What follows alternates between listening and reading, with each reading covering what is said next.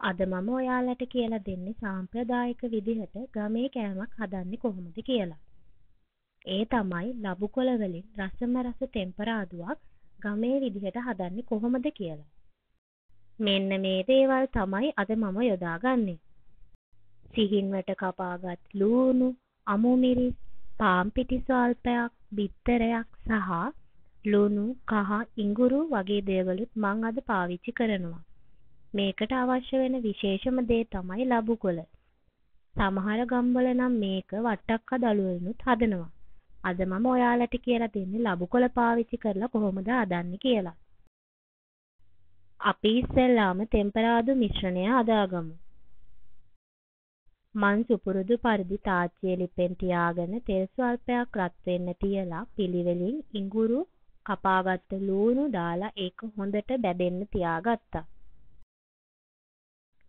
ලූණු ටික බැදීගෙන එනකොට කරපිංචා කපාගත්ත අමු මිරිස් දාලා හොඳට කලවම් කරගන්න ඕනේ. ඊට පස්සේ මම මේකට ලුණු සහ කහ ස්වල්පයකුත් එකතු කරගන්නවා. ඔයාලා ටිකක් සැරට කන්න කැමති නම් මේකට ගම්බිරිස් ස්වල්පයකුත් එකතු කරගත්තට ප්‍රශ්නයක් නැහැ. ඇත්තටම මේ තෙම්පරාදුවට මේ දේවල් විතරක් නෙමෙයි දාන්න පුළුවන්. ඔයාලට කැමති නම් මේකට රස වැඩි වෙන්න තව සැමන් ඒ වගේ දේවලුත් එකතු කරගන්න පුළුවන්. හොඳට කලවම් කරලා ටික වෙලාවක් ලිපේ තියාගත්තා. මේ තියෙන්නේ මං හදාගත්ත තෙම්පරාදු මිශ්‍රණය. දැන් අපි බලමු මේක ලබුකොළ වලට දාන්නේ කොහොමද කියලා. අපි ඉස්සෙල්ලාම බැටර් එක හදාගමු. ඉස්සෙල්ලාම මම පාන් පිටි ස්වල්පයක් සහ ඒකට ලුණු ස්වල්පයකුත් එකතු කරලා හොඳට කලවම් කරගන්නවා. දැන් තියෙන්නේ මේ පිටි මිශ්‍රණය වතුරත් එක්ක හොඳින් දිය කරගන්න.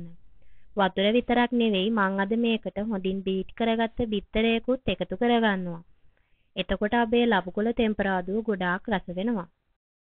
ඔයාලටත් පුළුවන් කැමති නම් මේකට බිත්තරයකුත් එකතු කරගන්න.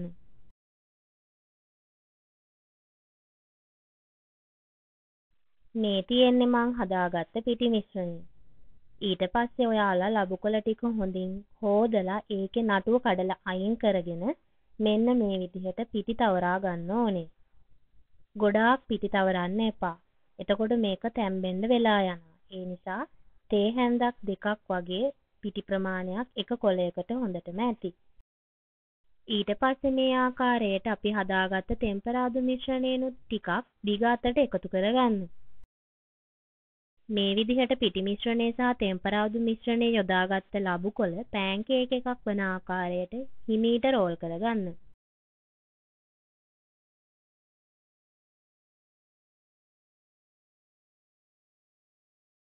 මේ තියෙන්නේ මං ඒ විදිහට හදාගත්ත ලබු කොළ ටික. දැන් ඔයාලා මේක ස්ටීමර් එකෙන් තම්බ ගන්න ඕනේ. එහෙමත් නැත්නම් ඔයාලට මේක රයිස් කුකර් එකේ උඩ කෑල්ලේ තියලා ස්ටීම් වලින් තම්බ ගන්න පුළුවන්. මේ විදිහට තම්බගත්ත ලබුකොළ පොඩි කෑලි වලට කපා ගන්න ඕනේ. දැන් ඔයාලට පුළුවන් මේක කෑලි මිරිස්, උම්බලකඩ, තක්කාලි වගේ දේවල් දාලා රසට තෙම්පරාදු කරගන්න. පොල් කිරි ටිකක් දාලා කිරට උනත් මේක හදාගන්න පුළුවන්. ඔයාලා හැමෝටම සුබ දවසක්.